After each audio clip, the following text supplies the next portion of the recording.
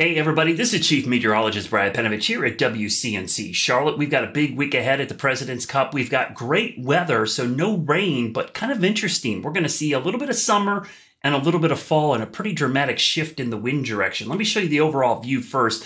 As of today, you can see we've got a hurricane off the east coast, very far out there, Fiona, but a couple of cold fronts. This first cold front not going to do much. It's this second cold front, which is up near the Canadian border. This is going to arrive Thursday night into Friday morning. But ahead of it, we're going to see kind of the blowtorch. Southwest winds for Wednesday and Thursday. That means temperatures in the low to possibly the mid 90s. And behind that front, we should see a rather dramatic shift in the winds. And I'm going to tell you, we're going to see probably a 180 degree change in the wind direction behind this front. So let's start with Quail Hollow. Where are we? Well, here we are in South Charlotte. There's the course.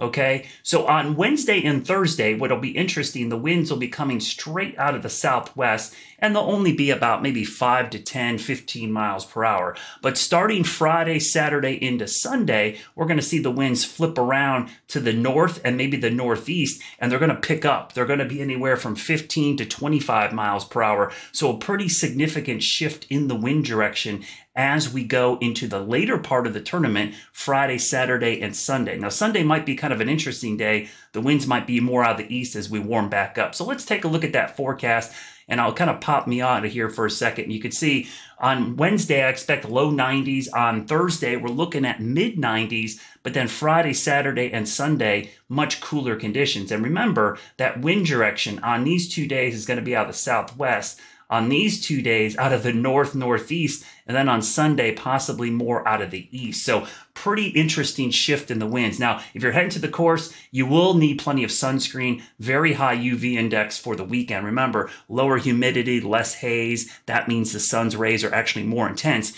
even though the air temperatures will be much cooler. So you might want a light jacket for the early morning rounds on Saturday morning, lower 50s by the afternoon. You won't need it at all as temperatures are in the upper 70s. Enjoy the week on the course. It should see some great weather, uh, hot early, cool late, and that dramatic shift in the winds.